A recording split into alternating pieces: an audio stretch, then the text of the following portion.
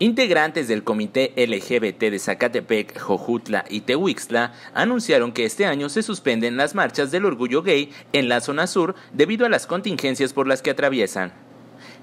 En su lugar, se realizará una convivencia este próximo sábado 5 de mayo en el balneario Iguazú completamente gratis para toda la familia, en especial para las personas que fueron afectadas por el sismo del año pasado. Esto es para porque no tenemos nada que salir a festejar, nada que salir a, exigir ahorita, puesto por lo sucedido del 19 de septiembre hay mucha necesidad, mucho trabajo, entonces queremos darles un día de alegría a toda esta, gente que quedó damnificada, que aún está sin hogar, sin techo, y queremos darle diversión, comida, eh, baile, eh, todo lo que podamos darle para que se divierta la gente. Si se cancelan por, por este año, en los tres eh, eh, comités, en los tres lugares, y no habrá.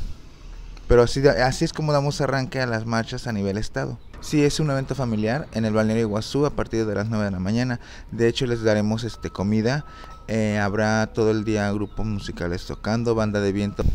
Nos unamos todos como pueblo, como, como, como gente para, para apoyarnos, para para darle diversión a la gente que más lo necesita en este momento, que es la damnificada del 19 de septiembre. Adena, sus noticias por Maldonado.